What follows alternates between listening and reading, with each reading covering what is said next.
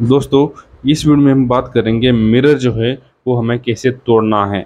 Mirror तोड़ने के लिए वहाँ पे आपको तकलीफ़ हो जाती है क्योंकि उसे तोड़ोगे, फोड़ोगे आप तो बाद में काम करते समय आपको वहाँ पे लगने के चांसेस होते हैं। सेफ्टी बहुत ही ज़रूरी होता है। जब भी आप दोस्तों, साइड पे कोई भी काम करते हो, वहाँ पे आपको सेफ्टी के हिसाब से वहाँ पे आपको काम करना बहुत ही ज़रूरी होता है। तो यहाँ पे देखिएगा, हम क्या करें? वो जो मिरर है, वो निकालने के लिए हम क्या करें? उसके ऊपर पूरा टेप लगवा रहे हैं। कुछ इस तरह से हमने क्या किया है? पूरा नीचे से ऊपर तक चारों तरफ़ से पूरा जो मिरर है, उसे टेप लगवा देना है। ताकि क्या है, जब हम मिरर तोड़ेंगे तो उस वक्त हमें आसानी हो जाए। तो उस वक्त हमें किसी भी प्रकार की तकलीफ़ ना हो, कोई हमें लगने का चांसेस वहाँ पे कुछ भी नहीं रहेगा दोस्तों। तो कुछ इस तरह से आपको वहाँ पे टेप लगवा देना है चारों तरफ़ से। और उसके बाद हमें क्या करना है हैमर का यूज़ करके उसे हिट करना है, तोड़ना है हैमर का यूज़ करके। देख सकते हैं, आपको वहाँ पे हैंड ग्लोव लगवाने हैं।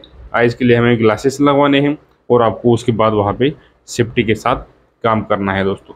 देख सकते हैं, कुछ इस तरह से आपको पूरा जो मिरर है वो तोड़ देना है। चारों तरफ़ से आपको वहाँ पे जो मिरर है वो तोड़ देना है और वो तोड़ने के बाद वहाँ पे आपको जो मिरर है उसे आसानी से निकल जाएगा। देखिएगा, किस तरह से आप वहाँ पे जो मिरर है वो निकाल सकते हैं। वो आपका जो मिरर है, वो जो ग्लास है, उसके छोटे छोटे टुकड़े हो जाते हैं और टुकड़े होने के बाद वो आसानी से वहाँ पे निकल जाता है दोस्तों। तो दोस्तों देख सकते हैं आप यहाँ पे किस तरह से हमारा जो मिरर जो है वो निकल रहा है आसानी से।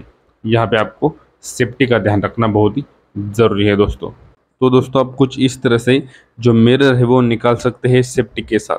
ये जो है वो सबसे आसान तरीका मैंने आपको बताया हुआ है दोस्तों। तो दोस्तों, वीडियो आपको कैसा लगा आप हमें कमेंट में ज़रूर बता दीजिएगा।